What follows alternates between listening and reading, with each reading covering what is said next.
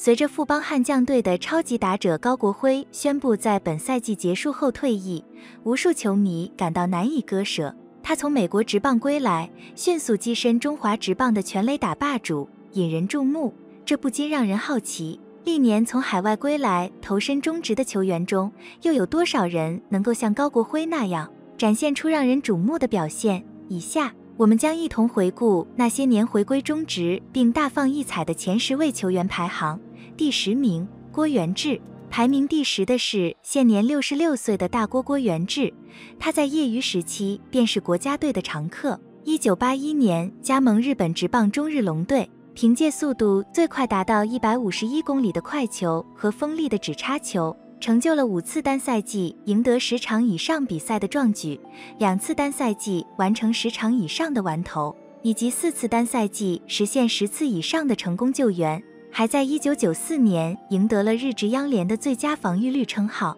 一九八七年和一九八八年连续两年获得央联救援王，十六年的日职生涯累计获得一百零六场胜利，防御率为三二十二。完成七十二场完投和一百一十六次成功救援，实为一段传奇。一九九七年，大郭离开日本，加盟中职统一狮队，第一年便以五胜三败、防御率三五十的成绩亮相。次年转战和信京队，更以十四胜三败，胜率达到八成四十二和二五十的防御率，荣获那一年中职的胜率王。一九九九年，虽然只赢得九场胜利，但是以防御率二。三十四和每局被上垒率零九十八的表现，仍然是当时和信京队不可多得的本土王牌投手。第九名，郭李建夫。第九名是身高一百八十五厘米的郭里建夫，在一九九三年为日职阪神虎队登台亮相。六年的日职生涯，虽然没有像郭元志那样达到单赛季十胜、十次完投的成绩。但防御率始终保持在三左右，最快球速可达一百五十二公里，拥有一颗优秀的指叉球，兼具先发和救援的能力。一九九九年，郭里转投中职和信京队，首年便以十五胜七败，防御率二八十九的佳绩登场，次年以十胜六败，防御率二三十九的表现，接过了郭元志在和信的王牌投手的接力棒，此后转为担任救援。还在二零零二年获得中职救援王的荣誉，将郭里的排名置于郭元志之上，主要是因为他在中职的战斗力贡献。虽然在日职的成就可能不及大郭，但在中职他完美的扮演了王牌投手和守护神的角色。第八名，蒋志贤，在二零一五年的中职季中选秀大会上，蒋志贤被中信兄弟队以首轮第一顺位选中。他的加入弥补了球队在重炮手方面的空缺。随后的二零一六年，他与加盟自 Lamago 桃园的林志胜搭档，共同构成联盟最具威胁的四五号打者组合。那一年，两人都以三十个以上的全垒打成绩贡献了球队，尤其是蒋志贤，他那年的打击率高达四百零二，成为中信兄弟夺冠征途中不可或缺的力量。但是，随着时间的流逝，中信兄弟团队发生了变化，包括二零一七年的五虎将事件，导致蒋志贤被球队释出。之后，他转投富邦悍将。尽管如今已年届三十五，状态不再如昔，但他依然在中职舞台上为自己的职业生涯不懈奋斗。第七名，胡金龙。紧接着我们提到的第七位，胡金龙，他的大联盟生涯虽然平平，回归中职后却如凤凰涅槃。特别是在二零一四年和二零一五年连续两年获得中职打击王的荣誉，至今他每个赛季的打击率都保持在三百以上，生涯打击率达到惊人的三百四十九，这在联盟历史上也是数一数二的成绩。胡金龙不仅个人成绩优异，他还帮助义大犀牛在二零一六年夺得了中职总冠军，这无疑是球队最希望看到的成果。第六名，陈庸基。第六名是陈庸基，被昵称为“台湾轰炸机”的他，在加入中职之前，已在美国小联盟历练多年。二零一零年中职选秀会，他一鸣惊人，被选为状元。至今，他在中职的表现令人瞩目，不仅完成了千安、百轰、百盗的里程碑，更是帮助统一师夺得了三次总冠军。虽然他的力量可能不及某些同行，稳定性也不如某些巨星，但综合来看，他是一位极具全面性的选手。第五名，李振昌，拥有美国大联盟、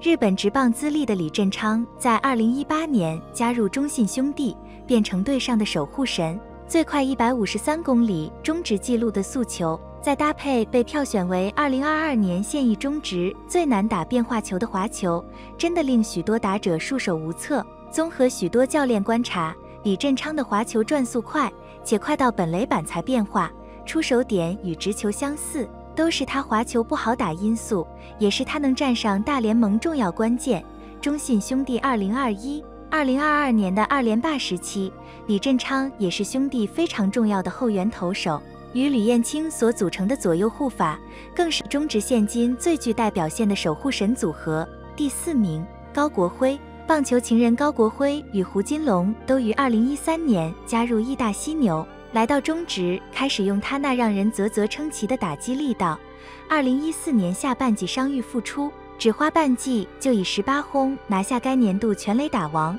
隔年再以三十九轰刷新联盟至今单季最多轰纪录，蝉联全垒打王。到了二零一六年，更与林志胜上演全垒打王争夺战。虽然两名选手都在这一年敲出三十四发全垒打，但高国辉以较佳全垒打率完成史无前例的中职全垒打王三连霸。同样帮助义大在二零一六年夺冠的高国辉。综合衡量他的长打贡献及替球队带来的实质战力，确实如同他的爆发力，也为强而有力的海归派球员。第三名，王义正，曾挑战过日本职棒的王义正，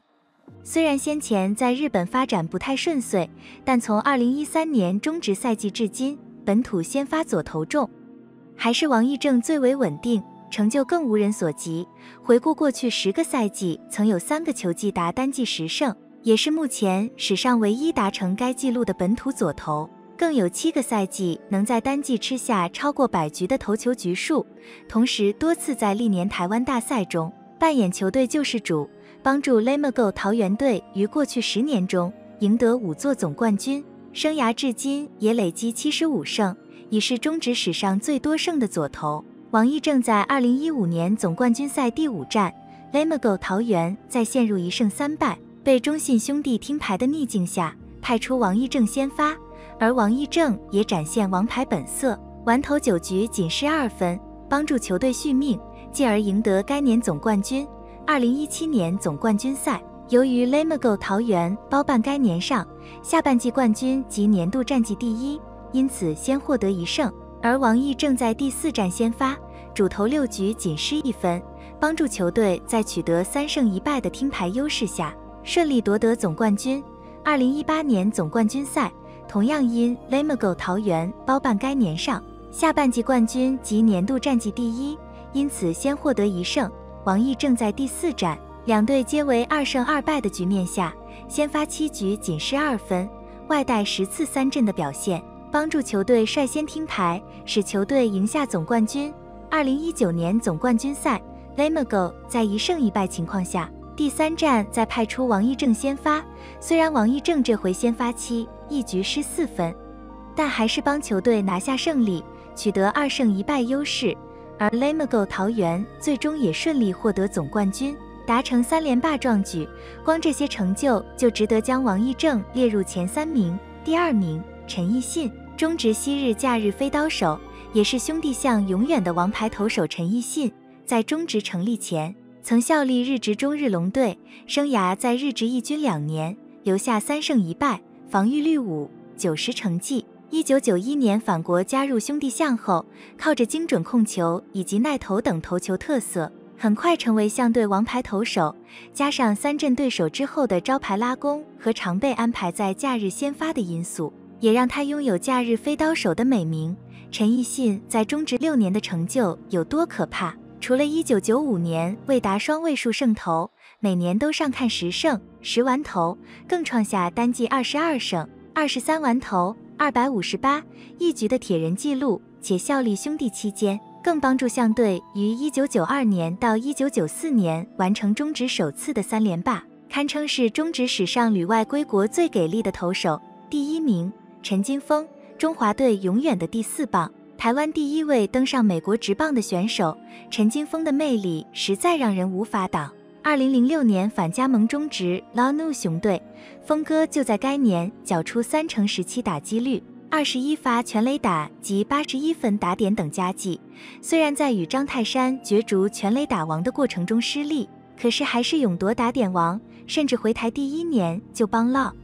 努赢得队史总冠军。隔年再以三成八十二打击率、二十六发全垒打拿下打击王。刚回到中职的陈金锋。打击实力仍在巅峰，从他在国际赛表现就有目共睹。尤其2007年亚锦赛，面对现美国职棒教士队王牌投手，也是该年亚锦赛日本队王牌投手达比修有，敲出带有两分打点且逆转比分的全垒打，更是轰动整个全台民众。即便峰哥于2016年季后隐退。可是他在最后一年职棒生涯仍有单季十三轰成绩，与其说是因为不服战力需求，倒不如说是上场空间被压缩。而陈金锋在 Lano Lamago 桃园队总计十一年，也替球队赢得四座总冠军，特别时常在总冠军赛扮演英雄，在关键时刻敲出全垒打，更是许多雄迷、原迷的难忘回忆。